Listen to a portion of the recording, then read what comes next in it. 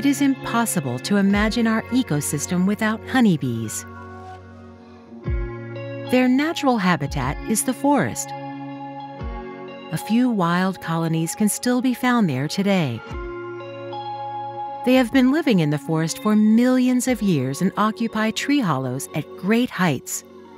Nowadays, we mainly use boxes, so called magazine hives, as a tool to keep and care for bees. However, this tool still has weaknesses and there is a lot of room for improvement. In nature, though, there is no need for improvement. Tree hollows provide the perfect habitat for honeybees. But unfortunately, tree hollows are not handy at all. Magazinbeuten gehen vor allem auf die Bedürfnisse von Menschen ein. Mit Baumhöhlen verhält es sich genau andersherum. Baum und Biene bilden zusammen eine perfekte Symbiose. Deshalb haben wir Hive entwickelt. Um Bienen die Baumhöhle zurückzugeben. Wir haben auf Biologen und Wissenschaftler gehört, welche den natürlichen Lebensraum der Honigbiene untersucht haben. Diese haben immer wieder auf die gesunden und natürlichen Eigenschaften von Baumhöhlen hingewiesen.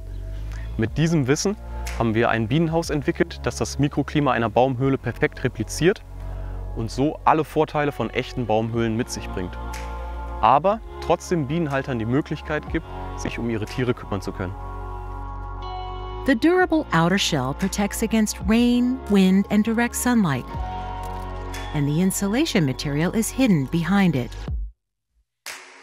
The natural insulation made of hemp wool ensures a balanced climate in winter as well as in summer. Just like a tree, HIIVE also helps the animals to keep their feel good temperature. Behind the insulation is a vapor barrier that ensures optimal moisture exchange, similar to what you'd find in home construction. The cylindrical shape allows the bees to form a thermal cork in the winter, which further helps to save energy. The relatively dry and warm climate that prevails inside hives also provides the perfect habitat for symbionts, such as the book scorpion. Dedicated nesting sites have been prepared for it. There is a fixed ratio of brood and honey room, both the honey room and the brood room can be taken out separately whenever needed.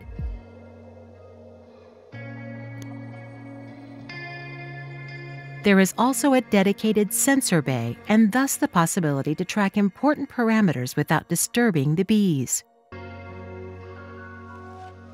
In combination with the HIIVE app, it is possible to detect swarms in a controlled manner before they fly out. Wenn ihr Bienen ein gesundes und natürliches Zuhause bieten wollt, unterstützt jetzt unsere Crowdfunding-Kampagne. Lasst uns zusammen den Bienen die Baumhöhle zurückgeben.